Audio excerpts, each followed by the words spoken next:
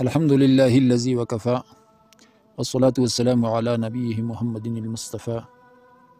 أما بعد فقد قال ربي عز وجل في كتابه المجيد ولا ولا تتبع الهوى فيدلك عن سبيله وقال ربي عز وجل في كتابه المجيد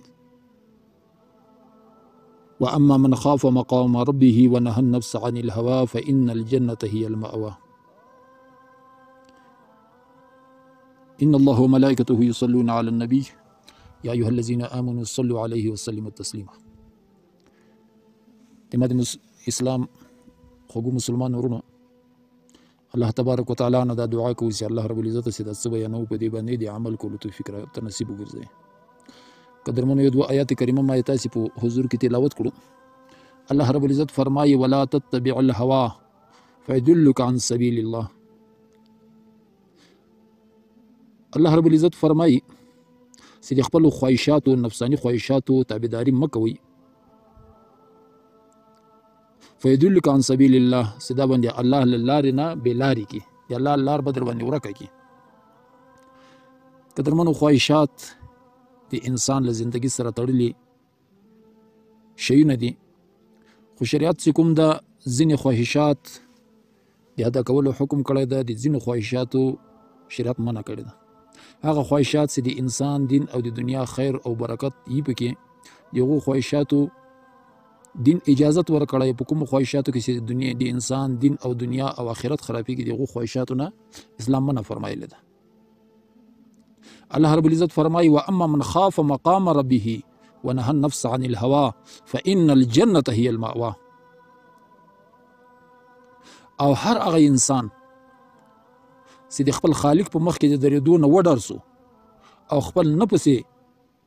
له ناجایز خواهشاتو نه بچ کو فإن الجنة هي المأوى پس جنت دې ځای ده قدرمنو د دنیا مختصر دنیا ده الله رب العزت موږ ته د دنیا ته د امتحان لپاره را لګلیو په دې دنیا کې خالق پروردگار د موږ تاسو لپاره جائز ناجائز حلال حرام دا ټول شی نه موږ تاسو الله پاک مخ ته ایښي اوس الله رب العزت چې کوم دا انسان دی د دنیا کې الله پاک په دې خیده کوم خلکو چې د الله دی حکم د نبی صلی الله علیه وسلم د طریقو پابندي کړې ده الله رب العزت خلک په دې دنیا هم کامیاب کړي په آخرت کې همیشه همیشه کامیاب دي او کوم خلکو چې د الله دی حکم د نبی صلی الله علیه وسلم یا د خپل انبیایو د طریقو خلاف کاری کړی ده د دنیا نم الله رب العزت کوم د شرمنده او ذلیل به ولیدي او آخرت کې به ټول عمر چې کوم د دیغو زلالت په نصیب یو ځای کې نبی علیه الصلاۃ والسلام فرمایي لا يؤمن احدكم حتى يكون أهو لا يؤمن احدكم حتى يكون هواه تبعا لما لما جئت به نبی علیه الصلاۃ والسلام فرمایي طریق وخت پورې په تاسو کې کامل مسلمان نسی جوړېدلی تر څو خپل خواهشات تابع دي خپل دین ونه ګرځوي دا خپل خواهشات چې کوم ده دا به د دین په تله کې تلي دین اسلام چې د کومو شیانو د پوره کولو حکم ورکړی دا په هغو عمل کول د کومو شیانو نه چې منع فرمایلې ده د هغو نه ځان ساتل قدرمنو خواهشات د انسان ډېر دی غیبت کول د انسان خواهشي نعوذ بالله من ذلک خالق پروردګار دې موږ ته وساتي زنا کول د انسان خواهشي سود کول دي دا ټول مناهي دي په دین کې راغلي دي نه دا د دوی ناجائز خواهشاتو نه انسان ځان وساتي د نبی صلی الله علیه وسلم فرمایي فإن الجنة هي المأوى جنت دغه انسان ټیکانه ده جنت دغه انسان ځای ده په دې مختصره زندگی د دنیا کې یو انسان سې کوم دا خپل خواهشات کنټرول کی خپل خواهشات سې کوم دا په یغه طریقه باندې استعمال کی په کومه طریقه باندې نبی علیه الصلاه والسلام په دنیا کې د وخت او د زندگی د تیرولو حکم ورته کړی دا انسان له دې دنیا نه کامیاب ده قدرمن صحابه ولې زکم دا لدی دنیا نه موږ تاسو نن کوم د صحابه او تعریف کوو د صحابه واقعیات بیانو صحابه سره چی شي صحابه سره هیڅ شي نو صحابه د خپل ژوندۍ د اسلام په چوکاټ کې اچولې و صحابه خپل خواهشات قربان کړي وو د الله حکم د نبی صلی الله علیه وسلم طریقې ته خپل غاړه ایښې وه صحابه په دې کامیاب نن چې کوم د مسلمانانو باندې تکلیفونه اپتونه مصیبتونه سره هر طرف نه دي قدرمنو د دې غټه وجه دا ده چې موږ نن موږ خپل خواهشات مخکې کوو او د اسلام احکام چې کوم د موږ شاته اړولي دي کله چې د اسلام احکام موږ شاته وړول بیا د الله رب العزت له طرف نه چې کوم د په موږ باندې هغه فیصله راځي لکه څنګه چې د موږ عملونه وي نبی علیه الصلاه والسلام فرمایي اعمالکم عمالکم څنګه چې تاسو عملونه دي تاسو فیصله باندې اسمانه دغه سره راځي که په دې دنیا کې د موږ اعمال د دین تابع نه وو د مو خواهشات د دین تابع نه دي الله له طرفه باندې کوم د مو په مخالفت کې فیصله راځي هغه فیصله به د الله له طرفه راځي چې بیغه کې به د موږ د دنیا او د آخرت سکم ده ناکامي د انسان نظر دا غواړي چې زه کوم دا څه د ماسترګې غواړي چې زه هغه لیدل وکم قدرمنو دان د خواهشاتو په زمره کې راځي الله رب العزت فرمایي قل للمؤمنین يغضوا من أبصارهم ويحفظوا فروجهم ذلك أذكى لهم إن الله خبير بما يصنعون یا رسول الله صلی الله علیه وسلم خو مسلمانو ته دی ویایا چې دوی چې کوم د خپل سترګې ټیټې ګرځوي یعنې د خپل نظر په کنټرول کې ساتي چې چیرې په غیر محرم باندې د ما د نظر ونه لګیږي ويحفظ فروجهم او دوی چې کوم د ساتنه د خپل شرمګاو وکي ذالک اذکا لهم داسې کوم د دوی لپاره پاکي ده د دوی لپاره خیر ده ان الله خبیر بما یصنعون الله رب العزت چې کوم د خبیر د عالم ذاته په یغه باندې چې تاسو کوم عمل کوي لکه درمنه په خواهشاتو کې دم دي انسان راځي چې د مال طرف نه دي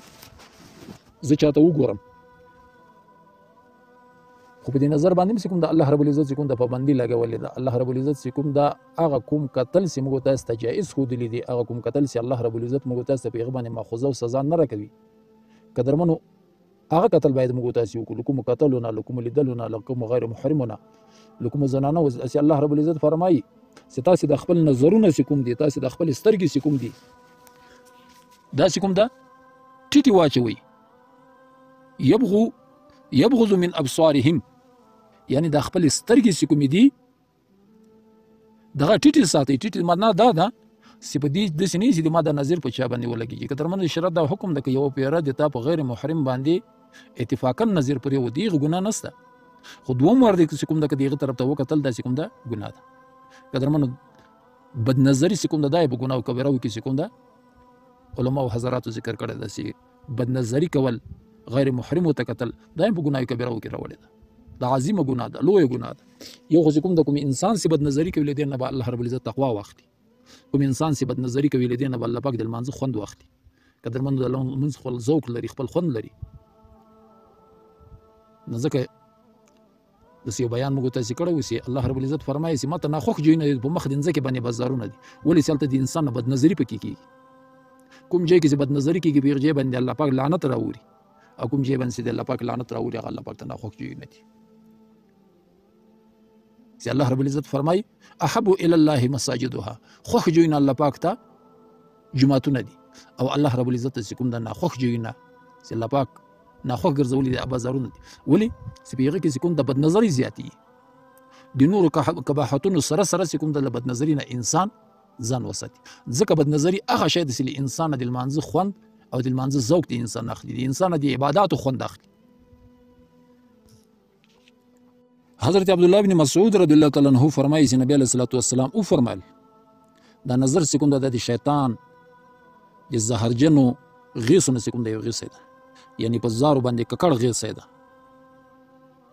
هر انسان سکوم ده د الله د ډار له وجې نه سکوم ده د خپل نظر حفاظت وکي د انسان د الله رب العزت سکوم ده نوري ایمانی ور نصیب کوي چې دیغه خوند او دیغه لذت به سکوم ده ته په زړه کې محسوس کیږي په دې شان باندې حضرت ابو امامه رضی الله تعالی عنہ فرمایي د نبی صلی الله علیه وسلم ارشاد چې یو انسان نظر سکم دا په یو چا باندې پریوت په یو خزه باندې نه محرمه باندې دی انسان نظر پریوت او د خپل نظر سکون د سم له لاسه کنټرول کو راوړو ورته وی نه کتل الله رب العزت به سکون دا د په زړه کې یو لذت یو خوشحالي ور محسوس کی دارنګ نبی صلی الله علیه وسلم فرمایي سسترګم زنا کوي د سترګو زنا دا ده نه محرم ته کوم دا قتل نبی له صلوات والسلام فرمایي چې غوګونم زنا کوي د غوګونو زنا دا ده د الله لمنهیات نه خپل ځان ساتل هغه نه اوریدل د زبم زنا کوي نبی علیه الصلاة والسلام دغه شان پسې وفرمایل چې لاس هم زنا کوي لکه درمنو دا ټول شیان چې د مخې ته موږ تاسې په احادیثو مبارکو کې تیر سو دا ټول شیان چې کوم د خواهشاتو کې راځي نو ځکه چې موږ تاسې له هغو ناجایزو خواهشاتو نه موږ تاسې زندانان دي موږ په عبادتو کې ولې خوند نسته دا نن موږ عبادتونه ولې له خوند خالي دي لمونځ کوو خلی یو عادت غوندي وکړو روزنې سو خلی یو عادت غوندي وکړو حج د بیت الله شریف ته لاړ سو یو عادت غوندي وکړو د الله پاک نور احکام کو یو عادت غوندي وکړو که چاته چیرې یو ورځ الله پاک توفیق ور نصیب کړي تهجد مانځ فجر دا خوند ولې نسته کې دا خوند په دې باندې نسته دا خوند په دې باندې نسته چې موږ چې کوم دا له یو طرف نه خو چې کوم دا عمل صالحه کوو خو له بل طرف نه چې الله رب العزت کوم پرهیز راکړی دغه پرهیز نه کوو قدرمنو موږ تاسو یو مثال درکوم موږ تاسو کله چې ډاکټر ته ولاړ سو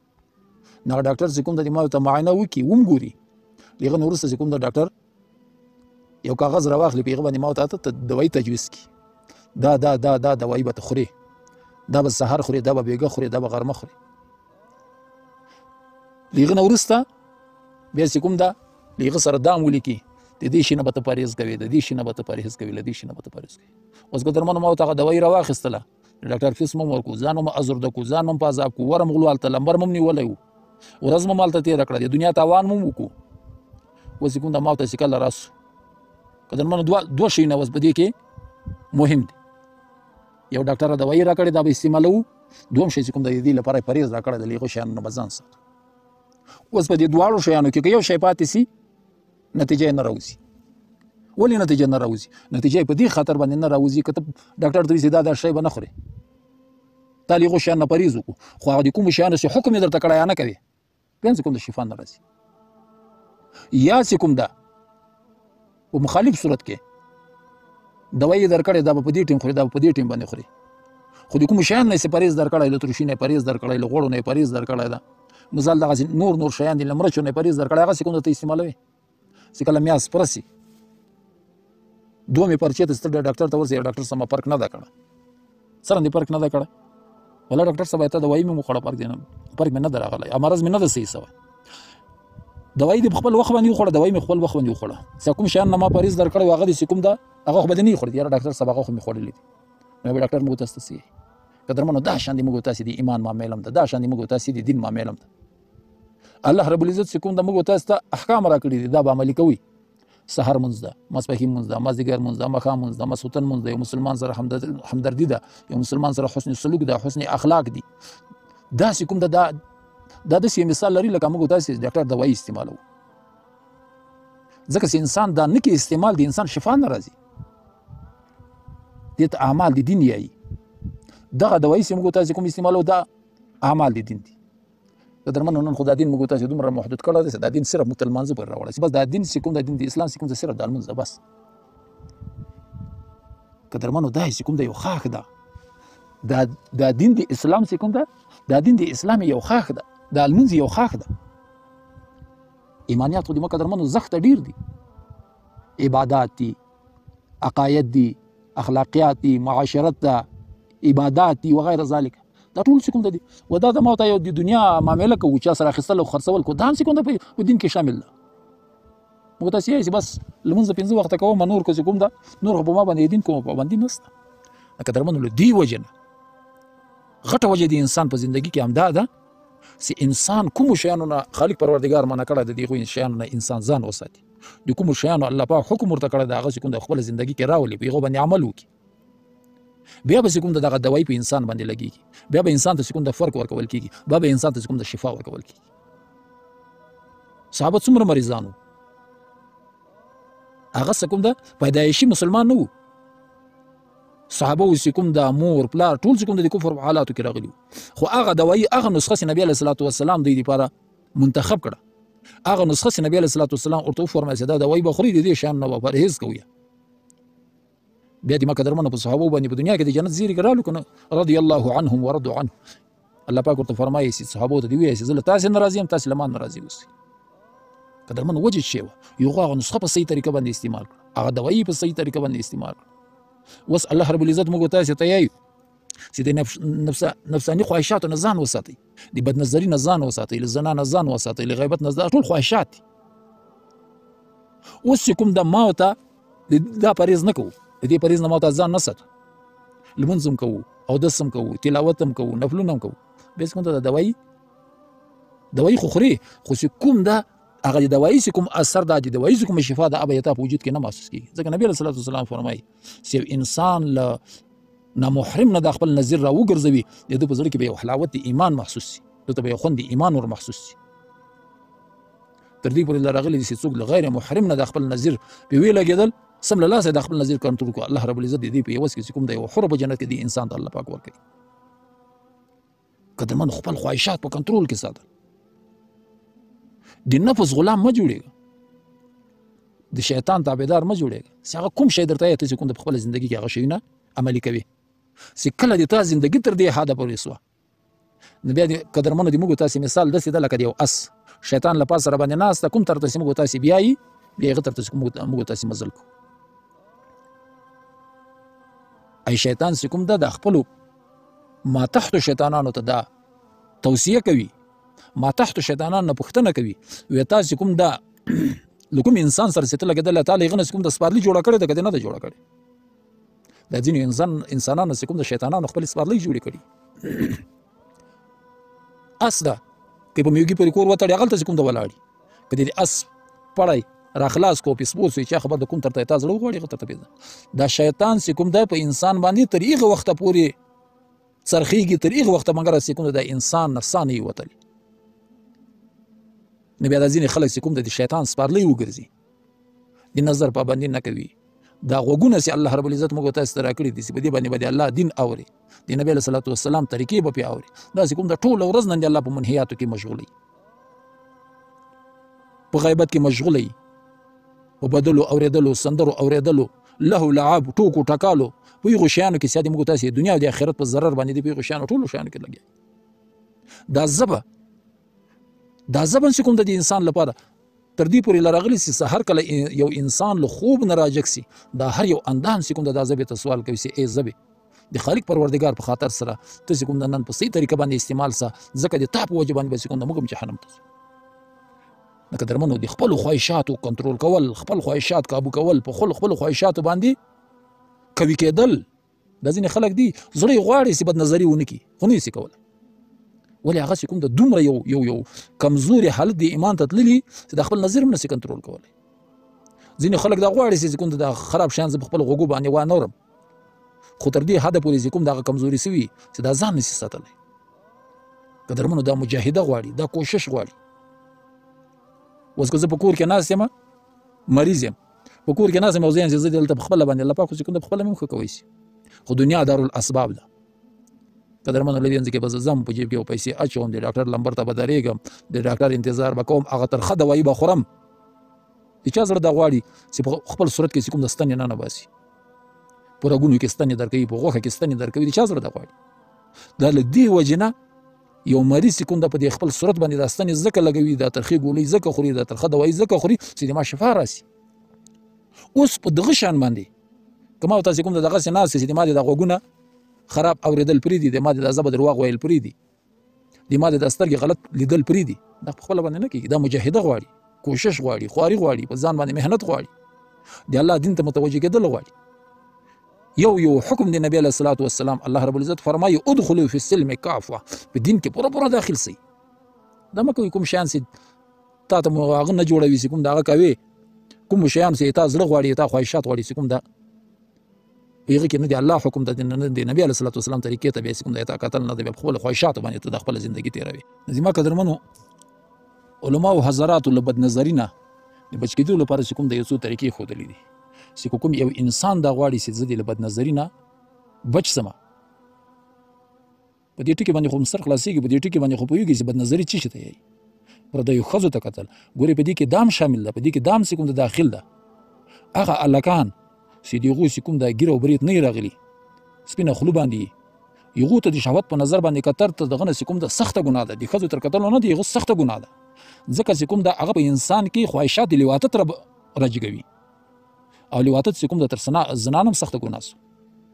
نو علما اوس چې کوم د دې لپاره یو څو طریقې ښودلې دي اوس که موږ تاسو چیرې علاج ما خو مخکې په مثال کې درته وسې چیرې موږ تاسو په دې یاغه باندې سو په دې اراده باندې سو چې زه د خپل ځان علاج کوم به علاج کولې ما قدر منو اسانه ده ډاکټر تاسو په ګارانټي سره دا نسی ویلای چې دې دوايي سره به تخ کیږي خو دین اسلام چې کوم د تاسو په ګارانټي سره دا یې چې دغه د ویانې دا نسخې دا وسې زه تاسو ته بیانوم په دغه طریقو باندې استعمال کا خود به خود به ان شاء الله العزیز الله رب العزت کوم ته دې بنظری لدی لعنت او لدی موزي مرض نه الله پاک ته بچ کوي اول خو ما تاسو ته مخکې اشاره وکړه چې اول علما او حضرات دا فرمایلی دي چې د بد نظری نه د بچ کېدو لپاره اول مجاهده ضروري ده انسان همت وکړي دا داسې یو مثال ده لکه ما تاسو کله اقدام وکړو د دې چې زه نن ډاکټر ته ځم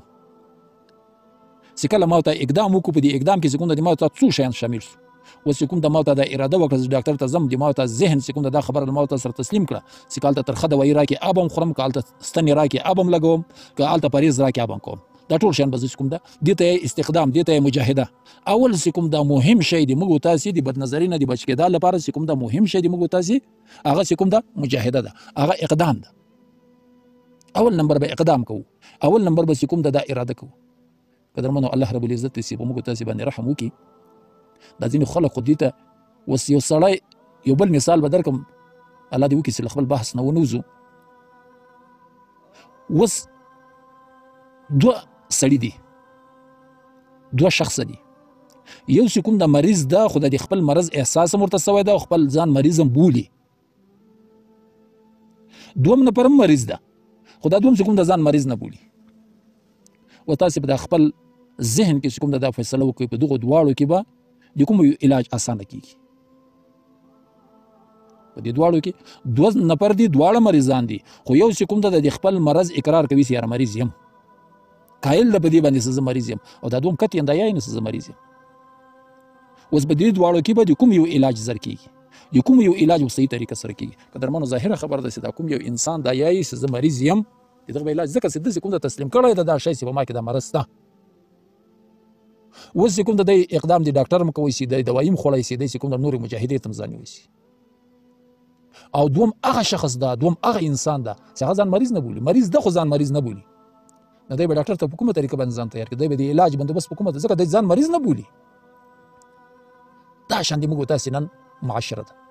ځینې خلک چې کوم د بدنظری په عذاب کې گرفتار دي هغه ځان ګناهګار بولي چې دا مرض په ما کې سته د دې انسان علاج الله پاک اسانه ده ورته الله پاک دې علاج کوي یو هغه خلک دي چې بدنظری کوي خو ځان په بدنظری په ګناه کې بولي نه احساس دې ګناه نشته غالبا په ملفوظاتو د مولانا زکریا صاحب کې لیکلي وو چې یو ګناه کول ده او یو د ګناه احساس ختمېدل ده دا ګناه کولو نه زیات جرم سکون ده په انسان کې چې کله د ګناه احساس ختم سي دا غټ جرم ده یو انسان ګناه وکړي مثلا ما غیبت وکړو چې کله غیبت نه جک سم په دې ځل کې یو خفګان ده خپل ضمیر زه ملامت کړم چې ډېر غلط کار ما وکړو دا احساس دی ګناه ده اوس چې کوم داسې په انسان کې احساس د ګناه په پیدا سي هغه انسان له هغې ګناه نه بیا الله پاک ساتي او انسان ته الله پاک چې کوم د مجاهدي توفیق هم ورکوي اوس یو انسان د ګناه کار کوي خو احساس د ګناه نه کوي کته انسان په دې باندې ملامت بولي نو سماج کوم د ګناه کار وکړي کته موږ موږ تاسو معاشره مخه ته ده د چاپیریال موږ تاسو مخه ته ده هر څه موږ تاسو ګورو وس هر هغه انسان چې ځان ګنهګار بولي چې ما چې کوم ده د بدنظري په جرم کې زه لګیا یم د دغه علاج اسانه ده کوم انسان چې دا جرم نه تسلیموي بدنظري کوي خو دې ته چندانې ګناه نه یایي دې تر ته فکر نه ځي که درمنه دې علاج هم سخت ځکه ډاکټر خو په چا پسې کور ته نه راځي ډاکټر ته چې څوک ورنسي ډاکټر په چا پسې کور ته نه راځي چې تا به پوښتنې چې کوم د تا ته دوایي ستنې شروع کړي نو که درمنو اول شی چې علماو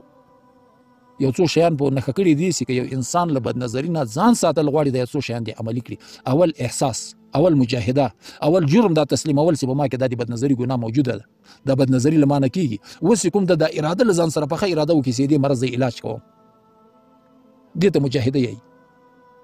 اوس کوم داسې کار له ما او تا مجاهده د دې بدنظري د دې منحوس عمل نه شروع کړه اوس به چې کوم د یو څو شیانو ته ما او تا ځان تیاروو لکه هغه د ډاکټر ستنې ته د ډاکټر ترخې دوایي ته د ډاکټر پرهیز ته دې شیان ته انسان ځان تیاروي تیاروي اوس په مجاهده کې به چې کوم ته دې شیانو ته ځان تیاروي دوم شی علماو دا فرمایله ده چې اکثره وخت کې تاسې چې کله بدنظري له تاسې نه کیږي د جهنم دردناک عذاب استهزار کوي په استهزار باندې خو پوهیږي چې کله له تا نه بدنظري کیږي په یو محرم نه محرمه ښځه باندې د تا د نظر ولویږي په دغه وخت کې فورا چې کوم دا د جهنم دغه سختو عذابو استهزار کوه ځان ته حاضروه چې د جهنم هغه سخت عذابونه سخت تکلیفونه هغه چې کوم دا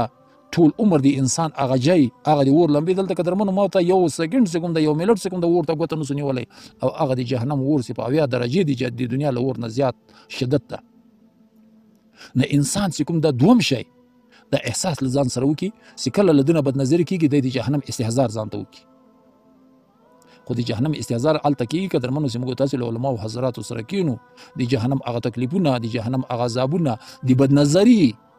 هغه ګناوي چې کوم د بدنظري په باره کې راغلي دي